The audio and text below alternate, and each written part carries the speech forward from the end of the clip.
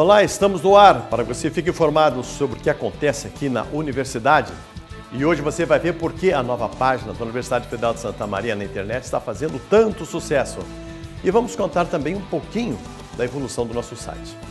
O centro de eventos está diferente essa semana porque dezenas de caminhões enfileirados chamam atenção e saiba o que eles estão fazendo por lá. E tem ainda o pró-reitor da assistência estudantil esclarecendo alguns pontos sobre os benefícios da praia. E também notícias da hora produção dos alunos de comunicação social de Frederico Westphalen.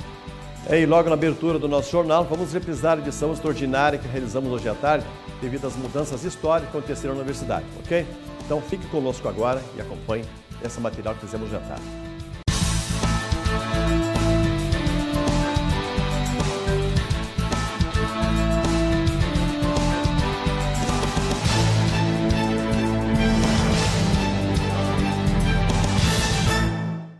De forma surpreendente, o Conselho de Ensino, Pesquisa e Extensão decidiu hoje pela manhã reunião que se estendeu até o início da tarde pela substituição do vestibular do FSM. Agora a classificação para a universidade será feita totalmente pelo SISU, o Sistema de Seleção Unificado.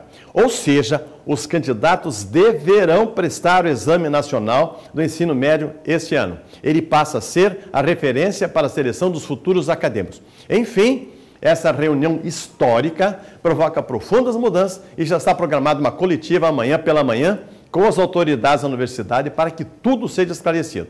Ainda hoje, o pró-reitor de graduação, Albertino Luiz Galina, nos dará algumas informações sobre essas mudanças. Uma dúvida que persiste é como fica a situação dos alunos que prestavam as provas do sistema seriado da universidade.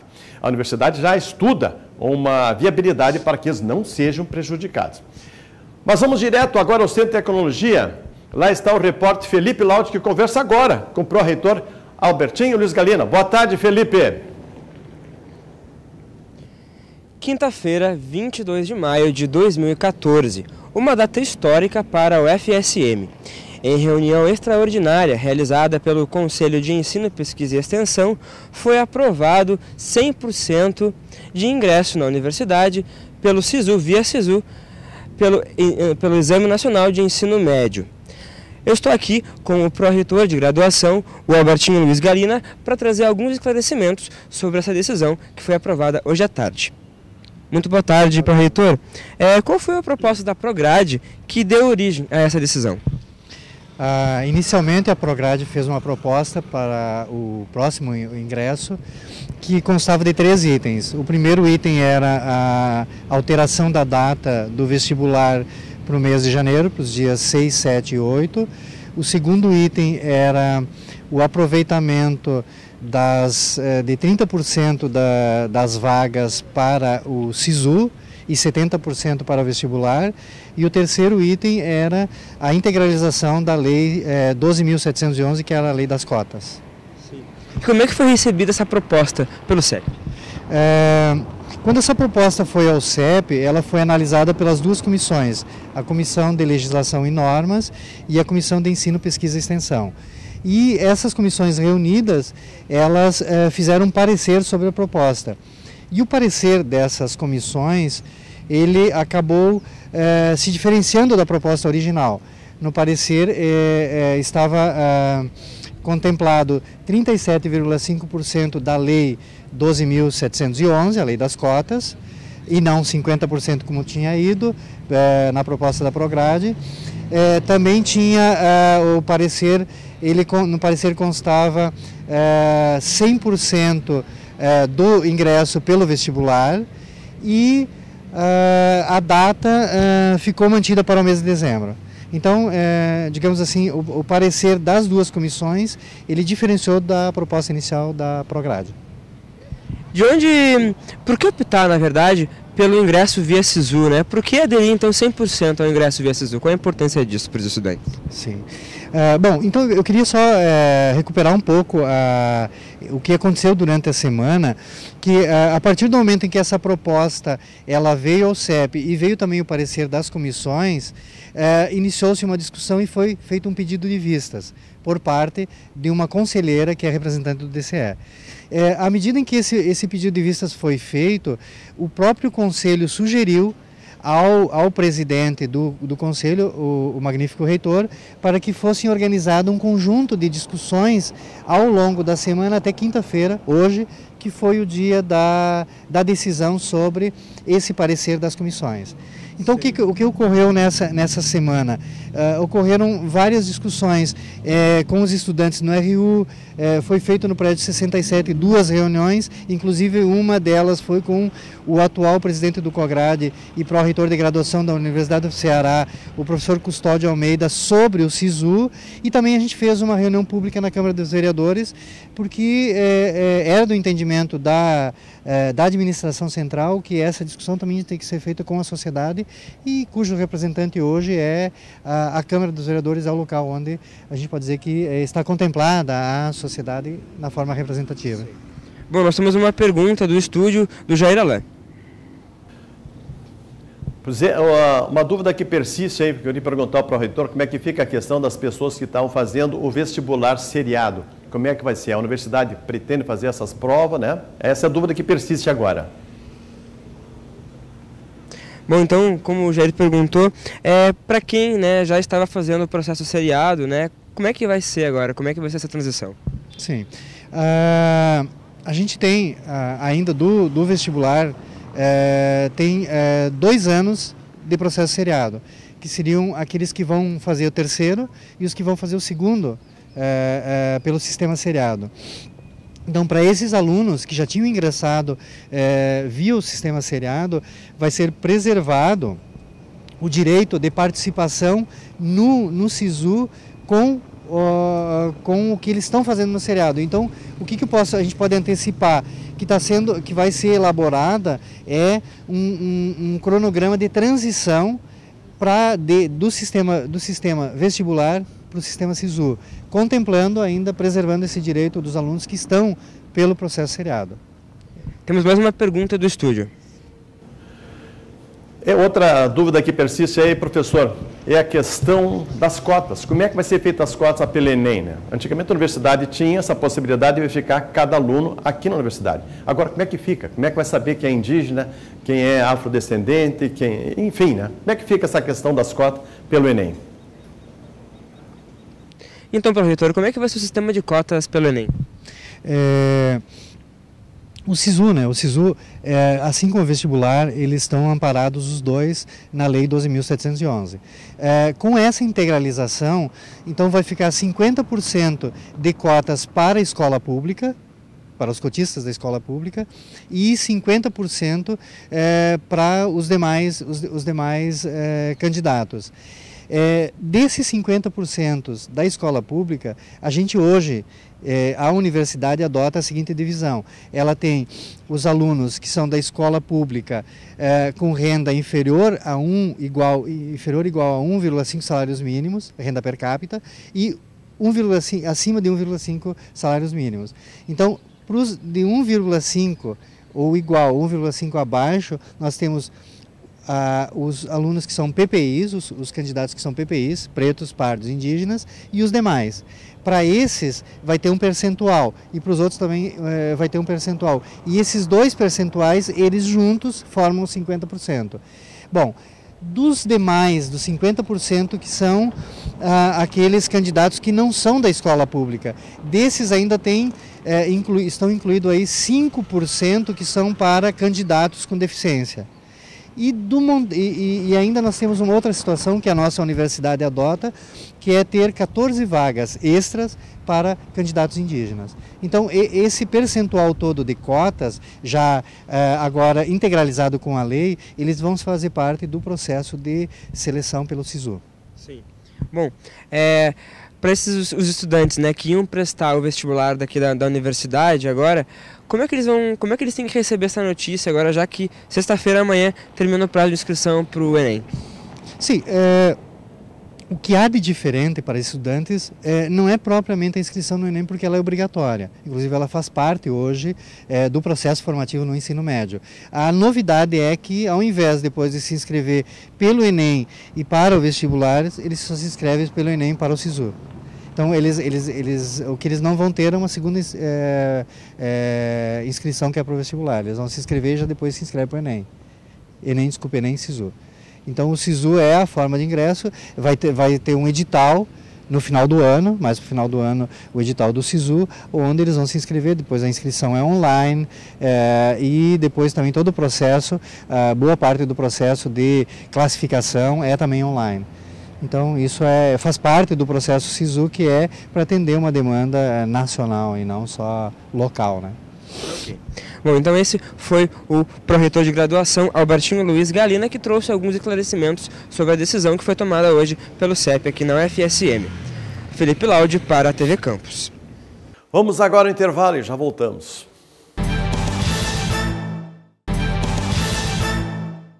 Estamos de volta. Desde março, a página da FSM na internet conta com um novo layout e a mudança pretende tornar o site mais acessível para o usuário, além de tornar a navegação mais rápida. Ao longo dos anos, o design do site tem mudado consideravelmente. Com a evolução da internet, as páginas ganharam mais informação visual e textual. Seguindo com essa proposta, desde o dia 17 de março, o site da UFSM está com a cara nova e a mudança não foi apenas no design da página. Então esse layout ele trabalha com técnicas responsivas para permitir que o site seja acessado tanto por celular, quanto por tablet, quanto por computador e que ele adeque o conteúdo à maneira como o usuário acessa esse site. Além disso, a gente tem um destaque maior agora para a imagem principal, que são as notícias que a assessoria de comunicação visa destacar, visa comunicar melhor. A gente tem uma série de funcionalidades novas que não estão envolvidas só com layout, mas que permitem que o site funcione e tenha uh, uma capacidade de atingir mais a comunidade acadêmica e a comunidade externa ao FSM. Antes, os internautas acessavam o site e recebiam em seu computador informações diretamente do banco de dados da instituição. Na prática, isto tornava a abertura da página mais demorada na tela do computador do usuário. Agora, o Centro de Processamento de Dados, o CPD, implantou um dispositivo de acesso rápido para a geração dessas páginas. Um dos grandes problemas que a gente tinha no site antigo é que o site demorava para carregar e muitas vezes o site aparecia fora do ar para o usuário. No site atual, a gente permite que o usuário carregue o conteúdo do site, mesmo que alguns pedaços do conteúdo ainda não sejam carregados. Então, você pode visualizar a página inicial, mesmo que as imagens da página inicial não tenham carregado. Isso permite que o usuário leia uma notícia ou que o usuário veja o que está acontecendo, mesmo que a conexão dele seja ruim, e que ele tenha a impressão, ele tenha a sensação de que a página já está carregada ou que a página está carregando ainda. O sistema de gerenciamento de dados do novo site foi desenvolvido pelo mesmo software do The New York Times e Instagram. Todas essas mudanças têm o objetivo de facilitar o acesso das pessoas às informações e serviços prestados pela UFSM e a comunidade universitária. O que achou desse novo layout do site da universidade? Ficou algo mais bonito, mais organizado. As notícias ali ficou bem, bem mais acessível, né, de nós entendermos, de nós buscarmos. Só não gostei que no, na versão anterior nós tínhamos várias várias divisões né, de oportunidades, de serviços, e agora ficou tudo meio junto, então isso eu destacaria como ponto negativo, né, mas os demais ficou muito bem, muito bom. Eu achei bem bacana, um site bastante claro, as informações bem acessíveis, né? De uma maneira geral, um site onde a gente consegue chegar onde deseja de uma maneira fácil. Eu achei que ele ficou mais bonito, só que um pouco mais difícil da gente encontrar as informações. O que você achou de que tinha, que tem agora que não tinha? Por exemplo, os horários dos ônibus que eles aparecem agora, estão mais visíveis. Antes a gente tinha que entrar no link para procurar e agora está mais fácil. Eu acho que ressaltou mais as cores da, da instituição e ficou muito mais acessível, né, em termos de principalmente encontrar uh, alguns documentos ou partes, enfim, né, uh, interessantes. Ficou bem, bem, bem mais, o fluxo ficou bem melhor né, de informações. Ele está muito interativo, está trazendo as várias informações e dando visibilidade, principalmente, a todo o trabalho que é desenvolvendo nos centros de ensino. O design do novo site da universidade está muito bom, está respeitando bastante uma identidade visual assim bem legal, só falta colocar ele agora em criar uma identidade assim com, com, as, com, alguns outros setores da universidade que usam um design diferente, né? Isso meio que confunde na hora de navegar no site. Para a coordenadora de comunicação social da UFSM, a ideia é tornar o site mais dinâmico e interativo. A nossa proposta era uma página, um site que pudesse interagir com o usuário e ao mesmo tempo uh, ser mais dinâmico. Dinâmico eu digo em produção de notícias, em abordagens da, da instituição. Ao mesmo tempo se pensou, paralelo a isso, se pensou que a página principal deveria uh, se reportar ao usuário externo, não interno. Por isso que foram criadas aquelas páginas para alunos e servidores. Ela destaca que o site ainda não está concluído. O trabalho da página não está concluído. Uh, o que a gente mudou até agora e deixamos para o pessoal começar a se acostumar, né, a, a, os usuários começarem a interagir com a página. Agora a gente parte para dentro da, do site da universidade, alterando e trabalhando nas páginas das pró-reitorias, dos órgãos executivos, órgãos suplementares, enfim, de todos os setores e de todos os órgãos que compõem a UFSM. O novo portal da UFSM foi planejado por uma comissão de professores de comunicação, analistas de tecnologia da informação, programadores visuais e assessores do gabinete do reitor. O novo sistema do UFSM já chegou a ter 60 mil visualizações num único dia. O pico de visualizações numa só semana chegou a 265 mil acessos. A maior média é nas segundas-feiras, quando cerca de 50 mil usuários costumam visitar a página. Desde o dia 17 de março, o site já teve mais de 2 milhões 135 mil visualizações. A Clínica de Odontopediatria do FSM está selecionando crianças com idade entre 5 e 10 anos para atendimento odontológico. Os pais interessados devem comparecer com os filhos na sala 212, que fica no segundo andar do prédio da antiga reitoria. As crianças passarão por uma triagem e serão encaminhadas para atendimento pelos alunos de graduação que curte disciplina de odontopediatria. O atendimento tem o custo mensal de 20 reais. Mais informações pelo telefone 3220-9266. O atendimento vai acontecer nas segundas, quartas e quintas-feiras, das 8 às 11 da manhã. E agora o Jornal da FSM faz uma pequena correção. É que na edição de ontem nós prometemos a veiculação de uma matéria sobre uma peça teatral que agradou o público do Frederico Vicefalho. Mas acabamos não rodando o material produzido pelos alunos da comunicação social do FSM Frederico Vicefalho, né?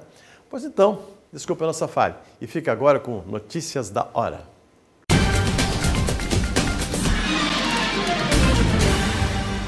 Depois de receber o prêmio Braskem de melhor espetáculo no Festival Porto Alegre em Cena, a peça de teatro que conta a história de Natalício Cavalo chegou a Frederico Westphalen. A companhia rústica, responsável pela atração, está com a peça em cartaz há um ano, com apresentações por todo o estado. O SESC promoveu o evento com a iniciativa de trazer mais cultura para a cidade. Uma cultura, ela tem que modificar o interior da pessoa. Ela tem esse propósito de fazer pensar, de ser crítico. Então a gente busca espetáculos de qualidade. A peça retrata a vida e as memórias de um personagem que realmente existiu. Natalício Cavalo teve toda a sua trajetória de vida representada no palco. O espetáculo teatral Natalício Cavalo trouxe para Frederico Westphalen histórias sobre morte e memórias, misturando elementos da cultura gaúcha com música e dança. Muitas tradições gaúchas foram mostradas, como a realidade do Pampa Gaúcho no século XIX, os rodeios campeiros e as famosas gineteadas. Eu acho que a peça contou a história do gaúcho né, e nós estamos reverenciando a Semana Farroupilha aqui no nosso município. A peça é baseada em uma história real, mas mistura elementos da ficção, como conta o ator Marcelo Mertius. A gente conta a história através de um olhar artístico. Então, o trabalho da, da diretora é juntar as memórias verídicas dessa pessoa junto com as nossas memórias e criar uma história que, que ela fica no limite entre a ficção e a realidade, porque metade do que a gente conta realmente aconteceu e outra metade é, é criação do grupo. O público de quase 300 pessoas que lotou o espaço do Clube Harmonia aplaudiu em pé a atração.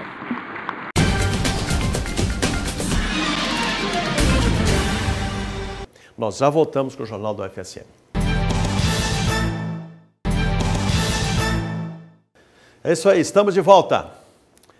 Olha, o PAC 2, Programa de Aceleração do Crescimento do Governo Federal, está entregando 90 caminhões para 71 municípios gaúchos. Os veículos estão aqui no FSM desde terça-feira para evento de entrega que acontece na semana que vem aqui no campus. A iniciativa é coordenada pelo Ministério do Desenvolvimento Agrário e até o final do ano passado, o PAC 2 é, investiu 773 bilhões de reais. Olá, Jair! Estamos aqui no centro de eventos falando com a motorista Diva sobre o que está acontecendo aqui da entrega de caminhões. Diva, o que está acontecendo? Exatamente de onde vêm esses caminhões? Esses caminhões eles estão vindo de Criciúma. Eles são do governo do estado. Eles vão ser distribuídos para os municípios aqui do estado. E são quantos caminhões? São um total de 90 caminhões. Nós já trouxemos uma parte e até segunda-feira a gente traz o resto. E como é que vai ser a entrega desses caminhões? Vai ter uma festa aqui, é, é segunda, segunda e terça-feira. A presidente da República vai vir aqui para fazer a entrega desses caminhões para os municípios, entendeu? Vai ter prefeitos, vai ter um monte de gente aqui para receber eles. E tu e o pessoal que trabalha aqui, vocês são de, um, de uma empresa? Vocês já se conheciam? Uh, nós somos, nós somos de uma empresa chamada Colin, uma empresa de São Paulo, uma empresa de transporte. Nós trabalhamos para entregar esses caminhões. A gente já entregou em todos os estados do Brasil. E Diva, como é que é ser uma motorista mulher no meio de tanto homem? Ah, é uma coisa, para mim é uma coisa normal, porque eu já estou acostumada, é o meu trabalho. Eu estou nessa faz tempo, entendeu? Faz muito tempo que eu trabalho de motorista. Então, para mim não é novidade, mas é legal. É bem legal. Eles me respeitam e eu sou uma profissional. Muito obrigada, Diva. E é contigo, Jair. E estão abertas desde ontem as inscrições para reingresso e ingresso em cursos de graduação presenciais à distância para o segundo semestre deste ano. Os interessados podem se inscrever até a próxima quarta-feira, dia 28 de abril. São 482 vagas disponíveis na modalidade presencial. A opção fica entre 20 cursos dos campos de Santa Maria, Silveira Martins, Palmeira das Missões e Frederico Westphalen. Já no EAD, há vagas para os cursos de letra português, nos polos de Cruz Alta, Santana Livramento, Agudo e Restinga Seca. As informações sobre as vagas de inscrições podem ser conferidas no site da UFSM, link editais. O Jornal da UFSM fica por aqui. E não esqueça de nos assistir também na internet pelo site ufsm.br barra TV Campus. Lá estamos ao vivo para o mundo todo.